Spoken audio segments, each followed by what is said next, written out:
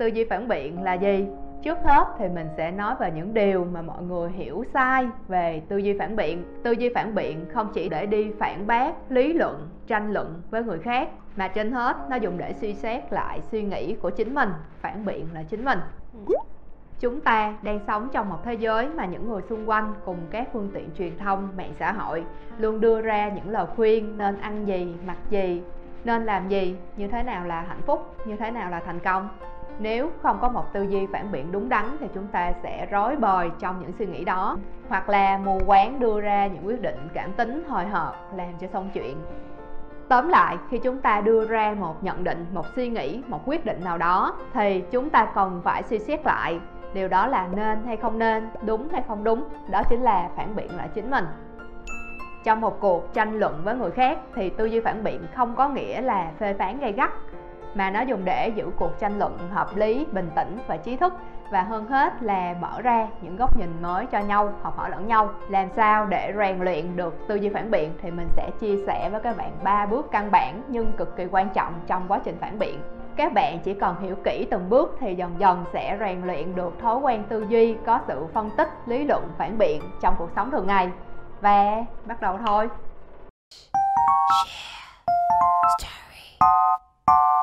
bước đầu tiên để chúng ta rèn luyện tư duy phản biện là chúng ta phải chấp nhận được việc từ trước tới giờ chúng ta đã sống một cách rất là cảm tính, rất thiếu sự phản biện theo các nghiên cứu khoa học thì não bộ của chúng ta không được lập trình để lúc nào cũng có thể suy nghĩ tư duy, lập luận một cách có logic. Trong cấu tạo não của chúng ta sẽ có phần não thú và não bò sát. Đó là những phần não bộ khiến cho chúng ta đưa ra những quyết định theo bản năng, theo cảm tính, chứ không phải là dựa trên những lập luận logic. Bởi vì trong thời cổ đại có rất là nhiều mối nguy hiểm chỉ cần một báo động nguy hiểm nhỏ thôi thì chúng ta sẽ lập tức bỏ chạy lẫn trốn, chứ không cần phải hiểu xem nó là cái gì, nó nguy hiểm như thế nào. Ví dụ thấy thu dữ là mình chạy ngay, hoặc là nghe có mùi khó chịu là mình chạy ngay, chứ không cần biết nó là cái mùi gì. Và điều đó đã giúp cho chúng ta tồn tại và phát triển đến ngày hôm nay.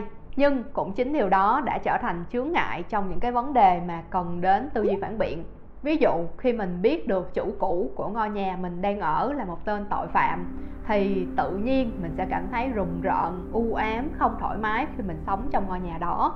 Tuy nhiên, suy nghĩ theo một lối khoa học thì điều đó không ảnh hưởng gì đến mình cả và nó đã là chuyện của quá khứ rồi qua một vài ví dụ thì các bạn có thể thấy được là não của chúng ta được lập trình một cách củ chuối. Hơn chúng ta suy nghĩ rất nhiều. Bình thường chắc ai cũng suy nghĩ bản thân là một người rất là biết suy nghĩ, rất là có lý lẽ. Nhưng mà không nha. Bởi vậy mà chúng ta phải thường xuyên nghiền ngẫm lại những việc mình đã làm, những quyết định của mình để kịp thời rút kinh nghiệm. Và qua video này chúng ta sẽ học được cách ra quyết định đúng đắn hơn bên cạnh đó, chúng ta cũng có xu hướng rất chi là nuông chiều bản thân mình. Cho nên mình sẽ tìm cách để hợp lý hóa cho những việc làm của mình. Có nghĩa là khi mình lựa chọn, mình quyết định điều gì thì mình sẽ cố gắng tìm ra những lý do để cho quyết định đó trở nên hợp lý hơn. Ví dụ, bây giờ đứng giữa hai sự lựa chọn là làm bài tập và đi chơi. Nếu bạn nào chọn đi chơi thì bạn đó sẽ nghĩ ra những cái lý do để cho việc đi chơi là hợp lý và tất nhiên, bạn nào chọn làm bài tập thì cũng sẽ có những cái lý do để cho việc làm bài tập nó là hợp lý. Bộ não con người không muốn thừa nhận sai, cho nên nó sẽ tìm cách hợp lý hóa cho những sai lầm của mình. Ngoài ra, con người cũng là một loài rất dễ bị cuốn theo ý kiến của số đông. Cho nên là một ý kiến được nhiều người đồng tình thì mình sẽ cảm thấy là nó đúng. Nhưng chưa chắc mà mình phải có đầy đủ lý lẽ bằng chứng để chứng minh thì điều đó mới thực sự đúng khi các bạn đi siêu thị, có một món đồ mà ban đầu các bạn không có ý định mua món đồ đó. Nhưng khi mọi người ào ạt đổ vào mua món đồ đó, thì tự nhiên mình lại cảm thấy nôn nao, cảm thấy muốn chen vào mua cùng với mọi người. Số đông là một cái gì đó sẽ tạo ra ảnh hưởng rất lớn với chúng ta, nhưng đông thì chưa chắc đúng. Vì vậy mà mình cần phải có chính kiến rất là vững vàng để chống lại được những áp lực từ số đông. Nói chung là con người tin vào những thứ mà mình muốn tin tin vào thế giới của mình vẽ ra và tin vào những điều mà trước giờ mình luôn luôn tin tưởng. Khi mà mình chấp nhận được việc là bản thân của mình chưa có nhiều tư duy phản biện, thì sẽ rất là dễ dàng để học được những tư duy phản biện đúng đắn. Mình vừa trình bày xong bước 1 ở bước này các bạn chưa phải làm gì cả, nhưng không phải ai cũng có thể nhìn nhận được bản thân mình. Đó là một điều thật sự khó, nếu các bạn có thể chấp nhận được điều đó thì mình sẽ sang bước 2 Tiếp tục sang bước 2, ở bước này chúng ta sẽ đi sâu hơn vào tư duy phản biện. Ở bước này chúng ta sẽ làm rõ một vấn đề là tư duy phản biện là nhìn nhận suy nghĩ một vấn đề một cách có lý lẽ nhưng có lý lẽ chưa chắc đã là tư duy phản biện bởi vì nó có thể là ngụy biện. Ngụy biện tức là mình đưa ra những lý lẽ khi mà mới vừa nghe qua thì có vẻ như nó rất là đúng, rất là hợp lý. Nhưng khi mình suy xét kỹ thì đó chỉ là sự lấp liếm vô lý. Khi mà các bạn nắm được một số lỗi ngụy biện thường gặp thì các bạn sẽ dễ dàng và nhanh chóng phát hiện ra tính đúng sai trong các tình huống phản biện. Sau đây là những lỗi ngụy biện thường gặp mà chắc chắn là các bạn đã nghe qua rất nhiều lần rồi. Nghe là thấy quen liền. Số 1 ngụy biện công kích cá nhân. Ví dụ, khi bản thân mình đưa ra một lập luận thì các bạn không chỉ ra được là lập luận của mình sai chỗ nào, chưa chính xác chỗ nào, chưa chuẩn chỗ nào, mà các bạn lại nhìn vào những cái lỗi lầm của mình trong quá khứ để kết luận rằng mình là một người không tốt để bác bỏ những cái điều mà mình vừa nói. Thì đó chính xác là một cách ngụy biện.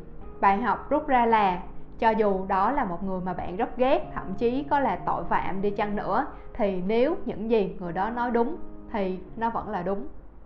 Số 2 ngụy biện người có thẩm quyền luôn đúng. Những người có chức vụ cao giữ vai trò lãnh đạo thì khi họ đưa ra một phát ngôn mà không có những lời giải thích rõ ràng thì bên dưới vẫn có nhiều người cho rằng là họ đúng, bởi vì họ là người dẫn đầu của một tập thể. Một ví dụ đơn giản hơn là lời nói của thầy cô, ông bà, cha mẹ.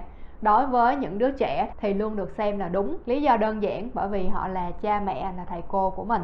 Đây cũng là một lỗi ngụy biện rất phổ biến của người việt tuy nhiên, nó không khó để nhận diện. Vì vậy mà bạn nào từng mắc phải lỗi này thì hãy gạt bỏ ngay và luôn. Số 3 ngụy biện rơm ngụy biện rơm có nghĩa là khi mà mình đưa ra một ý kiến nào đó thì có những người họ muốn chiến thắng mình bằng mọi giá, cho nên là họ cố tình bóp méo đi câu nói của mình. Chẳng hạn như mình nói là những chú mèo hoang rất đáng yêu và cần được bảo vệ. Thì có người lại nói là thế ý của bạn là chó và những động vật khác thì không đáng yêu và không được bảo vệ à? Mới nghe thì có vẻ như là nó rất liên quan nhưng thực chất nó không phải là cái vấn đề mà mình đang muốn nói. Người đó đang cố tình bóp méo đi câu nói của mình để công kích mình.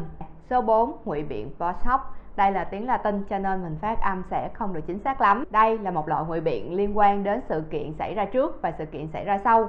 Ví dụ, bạn đi ngủ sớm 2 tuần thì bạn giảm được một cân và bạn kết luận là đi ngủ sớm giúp giảm cân. Thế nhưng trên thực tế có thể là do hai tuần đó bạn làm việc quá mệt mỏi dẫn đến việc bạn đi ngủ sớm và cũng chính vì làm việc mệt mỏi cho nên là nó khiến bạn bị sụt cân vậy thì nguyên nhân khiến cho bạn giảm cân là sự mệt mỏi trong công việc chứ không phải là bởi vì bạn đi ngủ sớm một ví dụ khác ở một thành phố người ta ghi nhận là sau khi mà bỏ đi những hình vẽ graffiti thì tỷ lệ tội phạm ở thành phố đó giảm đi. Từ đó người ta kết luận là những hình vẽ graffiti là nguyên nhân làm gia tăng tỷ lệ tội phạm.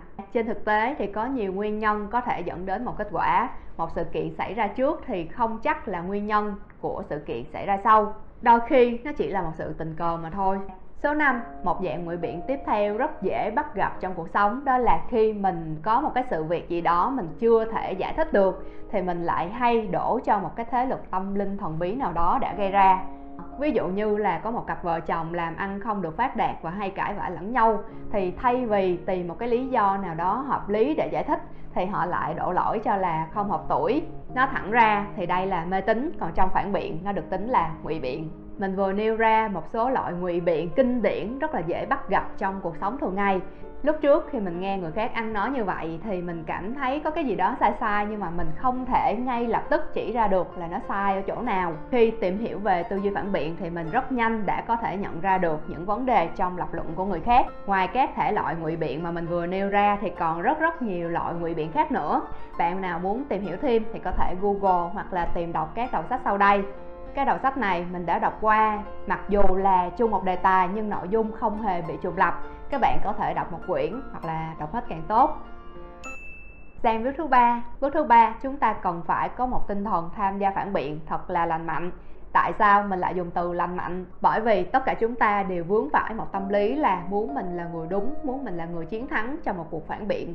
Bởi vì khi mình cãi đúng, mình cãi thắng thì nó tạo cảm giác thỏa mãn và tạo cảm giác bản thân là một người tài giỏi giả sử khi các bạn đang trình bày quan điểm của mình thì có một người khác đứng lên đưa ra ý kiến trái chiều, thì mình lập tức sẽ có cảm giác tức tối và muốn bảo vệ cho bằng được quan điểm của mình. Đó là tâm lý chung của tất cả mọi người. Khi mà mình vướng phải tâm lý này, thì khả năng tiếp thu, khả năng tư duy, khả năng phản biện của mình sẽ suy giảm, thậm chí là mất đi hoàn toàn, dẫn đến việc mình cãi càng cãi bừa, cố chấp để mình đúng bởi vậy, khi bắt đầu một cuộc phản biện, hãy giữ cho mình tâm trí thật là cởi mở và đón nhận để có thể tiếp thu những góc nhìn khác nhau đến từ mọi người. Để làm được vấn đề này, mình không chỉ nói suông là các bạn ơi, các bạn hãy cố lên mà mình sẽ đưa ra những chỉ dẫn cụ thể để các bạn có thể thông não được vấn đề này. Đầu tiên, các bạn cần biết đến khái niệm giá trị. Tại sao trong cuộc sống chúng ta thường xuyên có những quan điểm trái chiều với nhau? Bởi vì mỗi người sẽ ưu tiên cho mình những giá trị khác nhau chẳng hạn như anh A ưu tiên cho mình những giá trị về sự phát triển trong công việc, sự ưu tú, sự độc lập, công bằng, lẽ phải. Còn anh B lại ưu tiên những giá trị về tình cảm gia đình, tình bạn, sự đoàn kết, sự ấm áp, sự chia sẻ lẫn nhau. Bởi vì hai người này ưu tiên cho những giá trị khác nhau, cho nên khi nói chuyện, khi chia sẻ họ sẽ có những quan điểm khác nhau, thậm chí là trái ngược nhau. Nếu như họ biết lắng nghe nhau, biết mở rộng góc nhìn, thì họ có thể học hỏi lẫn nhau rất nhiều. Tuy nhiên, nếu như họ cố chấp chỉ cho mình là đúng, còn người còn lại là sai thì nó sẽ gây ra sự mâu thuẫn và sự cãi vã. Giá trị là những điều mình ưu tiên và những quan điểm đạo đức của bản thân. Cho nên, khi bắt đầu một cuộc tranh luận, các bạn hãy xem xem có phải là giá trị của hai người đang khác nhau hay không. Và khi giá trị của hai người khác nhau, thì không phải là ai đúng, ai sai, mà là điều này phù hợp với người này, nhưng không phù hợp với người kia. Như mình đã nói thì mỗi người sẽ có những cái giá trị ưu tiên khác nhau, và chúng ta sẽ có xu hướng là muốn nói chuyện với những người có giá trị giống mình hoặc là gần giống với mình và không thích nói chuyện với những người có giá trị trái ngược với mình. Ở đầu video mình cũng đã nói là con người muốn tìm kiếm sự ủng hộ về phía mình và đó cũng là điều ngăn cản tư duy phản biện của chúng ta. Cho nên, các bạn hãy tập lắng nghe nhiều quan điểm, nhiều góc nhìn đến từ tất cả mọi người để mình có thể mở rộng góc nhìn và nhìn mọi vấn đề một cách toàn diện. Đó chính là một điều rất quan trọng trong việc rèn luyện tư duy phản biện. Mình từng được nghe một câu nói rất hay như sau, tôi có thể không đồng ý ý với những điều mà anh nói, nhưng tôi có thể chết để bảo vệ quyền anh được nói những điều đó. Đây là một câu nói về quyền tự do ngôn luận. Tuy nhiên, nó cũng thể hiện được phần nào sự lắng nghe và góc nhìn đa chiều trong tư duy phản biện. Điều quan trọng cuối cùng là các bạn hãy can đảm chấp nhận những thiếu sót và những sai lầm của bản thân. Bản thân mình nhận thấy những người chịu nhìn nhận những thiếu sót của bản thân mình là những người can đảm trưởng thành và có tư duy cởi mở. Nói chung là rất ok trong mắt của mình đó là ba bước căn bản nhất trong quá trình rèn luyện tư duy phản biện. Hy vọng các bạn có thể đón nhận để mình ra nhiều video hơn về đề tài này. Cuối cùng là các bạn nhớ giúp mình bấm vào nút chuông đăng ký để youtube nhanh chóng lên đề xuất cho kênh của mình.